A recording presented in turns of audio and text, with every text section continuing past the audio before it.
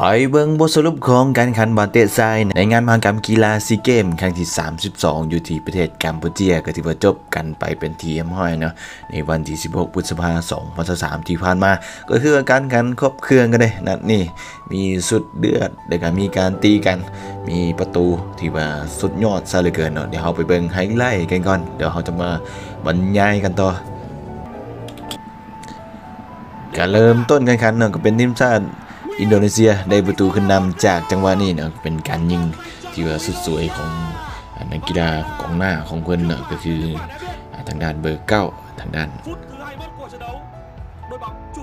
ก็คือทางด้านซานันตาเนาะยิงประตูให้ทีมขึ้นนำไปก่อน จากจังหวะนี้โยนเข้าไปโยนไก่โมงเข้าไปสวยงามใช่ได้เกินนี้ถือเป็นกองหน้าเจือคมซะเหลือเกินเนาะเบอร์เก้าของอินโดนีเซียางด้านซานันตา มาที่จังหวะนี้ก็คือมงเข้าไปเลย อืมสิทธิ์ป้องกันกันได้ดีแสดงความสะใจของเตะอินโดนีเซีย เอาเบิ่งจังหวะที่สองที่ว่าอินโดนีเซียได้ประตูสุดยอดเหลือเกินนี่อืมสิบข้ามหัวเข้าไปยังสวยงามจากการยิงของคนเก่าเจ้าเดิมเบอร์เก้าซานันตาปานแมสซี่มันยิง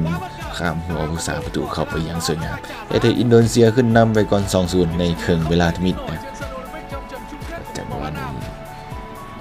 ทีมชาติไทยตกที่นั่งลำบากจนน้ำตาตกกันเลยนะความประทับใจยิงให้สทีมสองประตูทมิดทางด้านซานันตาจังหวะนี้อืมตึมเดี๋ยวสั้นเหลือเกิน มาต่อที่เกิดมาได้ซอง เป็นทีมชาติไทยไล่มาเป็นหนึ่งซอง จากขันมงของทางด้านอันนั้นนะที่ว่ามงสุดสวยให้กับทีมไล่มาเป็นหนึ่งซองเริ่มมีความหวังกันแหละ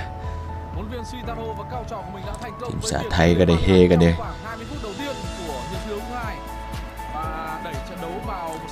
มาเบิ่งกันอีกครั้งนึงจังหวะนี้เปิดเข้ามาสุดสวยก็ได้มองเขาอืมสาประตูคาตายกันเลยอืมบ่เหลือนะ เริ่มมีความหวังกันมาทีมชาติไทยจากจังหวะนี้ถือว่านัดนี้เดือดซะเหลือเกินกาเข้ามาเซอร์จังหวะนี้เนี่ยกรรมการเป่าวีดฟาวนะแต่ว่าทางนั้นอินโดนีเซียเข้าใจผิด คิดว่าเป่าหมดเวลา กรรมการเป่าฟาวให้กับทีมชาติไทยนะเป็นดราม่าซะเหลือเกินบอลนี่บ่คิดบ่พันว่ามันจะเกิดเหตุการณ์แบบนี้ขึ้น เดี๋ยวมาเบิ่งจังหวะต่อไปมันแน่นอนเฮเกอร์กันเลยนะางด้านอินโดนีเซียทำการเป้าให้เป็นทีมชาติไทยได้ khi mà trọng tài vẫn cho Thái Lan thực hiện ลูกฟรีคิกจังหวะนี้เปิดเข้าไปจังหวะนี้อีโมงเข้ามาให้กับนักเตะคนนี้เปลี่ยนลงมาใหม่ยิงเข้าไปก็คือทางทางด้านยศกรเนาะที่ว่าถึกเป็นตัวลงมาใหม่เนาะ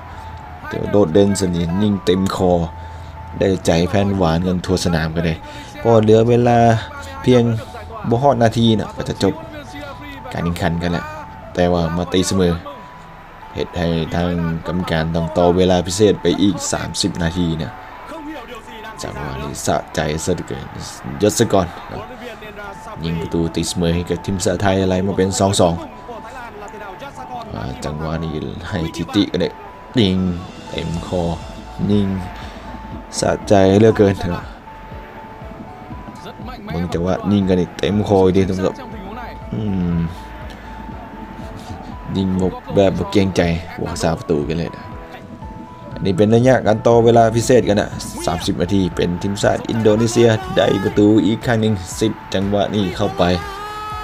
จากการยิงของทางด้านเบอร์ 17นะก็คือทางด้านอีฟานนะยิงให้กับอินโดนีเซียขึ้นนำนะ ถือว่าทีมชาติไทยก็ตกทิ้งนั่งนำบากอีกครั้งหนึ่งเจอเวลาต่อเวลามาได้สิบจังหวะนี้ถือว่าอินโดนีเซียยิงแต่ละประตูงามๆทั้งนั้นเลยตำสบนักเตะแต่ละคนอืมเหลือเกิน การยิงประตู vai trò của người đóng thế vị trí อีฟาน Sanata cũng đã có một tình huống nốt bóng vào đầu thủ môn สะใจซะเหลือเกิน แต่ก็มาสู่จังหวะนี้เนาะหลังจากได้ประตูมีการตีกันเกิดขึ้นอืม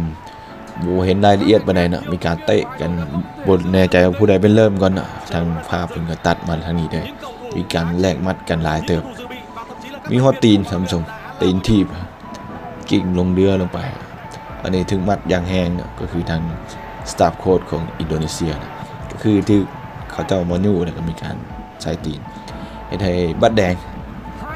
ทีมชาติไทยแล้วก็ทีมชาติอินโดนีเซียก็ถือบัตรแดงไปผู้ทุกคนในการสตาฟโค้ดแล้วก็มาการแข่งขันก็เริ่มกันต่อนะเป็นจังหวะนี้ทีมชาติไทยเหลือผู้เล่นน้อยกว่าหนึ่งคนทางด้านเบอร์ซีก็ถือบัตรแดงไปเป็นเรื่องที่สองการแข่งขันก็เริ่มต่อเป็นทีมชาติอินโดนีเซียที่เนื้อก็ผู้เล่นหลายคนก็ยิงจังหวะนี้เข้าไป จากการยิงของทางด้านฟอร์จ้าเนาะยิงได้นาทีที่ 107เห็นได้ทีมชาติไทยเกือบจะเมิดหวังกันอะตามทั้งสองประตู เวลาใกล้จะเมิดแถมผู้ดินก็ยังเรือน้อยกว่าสองคนจังหวะนี้ก็จึกบัดแดงไปอีกคนหนึ่งเป็นจังหวะนี้เป็นจังหวะปิดเกมของอินโดนีเซียนะมาเข้าทางของทางด้นแบ็คแฮมยิงเข้าไปเบอร์ซิปเพิ่นเป็นซื้อแบ็คแฮมนะทำทรง เป็นข่าวใหญ่เนาะที่ว่าทางซื้อไทยก็มีการเอาข่าวเป็นแบ็คแฮมคนซื้อแบ็คแฮมเบอร์สิบโบแมนเดวิดแบ็คแฮมนะอันนี้เป็นแบ็คแฮมของอินโดนีเซีย เกมในทีมชาติอินโดนีเซียเอาชนะไป 5 ประตูต่อ2ในการต่อเวลาพิเศษหลังจากที่ว่าเสมอกัน เดี๋ยวไปเบิ่งบทสรุปอัตเดนก็ได้กันนะก็คือทางนั้นทีมชาติอินโดนีเซียก็ผลงานโดดเด่นซเลือเกินเนาะชนะทาง รวดกันเลยเนาะคว้าแซมมาเลยนับตั้งแต่หอบแบ่งกลุ่มก็ชนะสี่นัดรวดคนไทยในหอบห้องก็สามารถพลิกเอาชนะทางด้านทีมชาติเวียดนามมา 3-2 ก่อนที่หอบสี่กันชนะทางด้านทีมชาติไทยไป 5-2 ในการต่อเวลาพิเศษหลังเสมอกัน 2-2 นะซึ่งว่าสถิติโดดเด่นก็คือทางด้านอินดราซาฟีนี่ยหัวหน้าผู้ฝึกของทีมชาติอินโดนีเซียอายุ 60 ปี ก็สร้างผลงานโดดเด่นเลยก็คือการพาทีมชาติอินโดนีเซียในคนอายุบ่เกิน23ปีกัน เอาชนะทีมชาติไทยได้ถึง 3 นัดหลังสุด แล้วก็ 3 รายการสำคัญก็คือเหตุไอทีมชาติไทยพลาดแซมไปถึง 3 รายการก็คือเนาะในวันที่26กุมภาพันธ์2019ในรายการบานเตะซิงแซมอาซีเนาะอินโดนีเซียก็ชนะทีมชาติไทยไป 2-1 ในนัดซีชนะเลิศคว้าแซมไปครองในปีนั้นนะแล้วก็ต่อมาวันที่23พฤศจิกายน2019ในซีเกม ปี 2019 นะทีมชาติอินโดนีเซียก็เอาชนะทีมชาติไทยไป 2-0นะในรอบแบ่งกลุ่มนะต่อมานัดล่าสุดก็คือซีเกมปีนี้ปี 2023นะเอาชนะทีมชาติไทยไป 5-2 คว้าแซมไปครองนั่นเองก็คือคว้าเหรียญคำเนาะสำหรับแซมซีเกม 2023 ครั้งนี้เนี่ยก็เป็นอของอินโดนีเซียนะข้างทมิตในรอบ 32 ปีนะเพราะว่าการคว้าเหรียญคำของอินโดนีเซียน่ะในบานเตะทราย ก็ต้องหวนคืนไปถึงปี 1991 อยู่ที่ประเทศฟิลิปปินส์เป็นเจ้าภาพครั้งนั้นนะทางนั้นทีมชาติอินโดนีเซียก็เอาชนะทีมชาติไทยไป4-3ในการดวลจุดโทษหลังเสมอกันศูนย์นะและก็เป็นแซมสมัยที่ 3 ของอินโดนีเซียในประวัติศาสตร์ของซีเกมที่ผ่านมาหลังจากที่เราสามารถผ่านเขาซิงทั้งหมดแมน8ครั้งนะและนั่นก็อกหักไปถึง5ครั้งและนั่นก็อกหักไปถึง5ครั้งได้แซม3ครั้งนะ ส่วนทีมชาติไทยได้เหรียญเงินไปครองจากการเข้าซิง22ครั้งได้แซมถึง 16 ครั้งในการได้เหรียญเงิน 6 ครั้งสำหรับครูซิงอันดับ3หรือว่าครูซิงเหรียญทองก็เป็นทีมชาติเวียดนามเอาชนะทีมชาติเมียนมาไป3 1คว้าเหรียญทองไปครองสำหรับนักเตะที่ว่ายิงประตูได้สูงสุดก็มีถึง 3 คนเนยิงได้ถึง 5 ประตู ในนั้นก็มีฟาจ้าฟาตูลามันจากทีมชาติอินโดนีเซีย ยิงไป 5 ประตู แล้วก็ยังมีทางด้านลามาฮันซานันต้านะเบอร์เก้าที่ว่ายิงได้ 2 ประตูในนัดสี่นะก็ยิงไปได้ 5 ประตูเช่นเดียวกันคองดาวยิงถึงสุดรวมกันตรงนั้นก็มีทางด้านเงียนวันต้งนะก็ยิงได้ 5 ประตูจากทีมชาติเวียดนามก็ถือว่า3คนนี้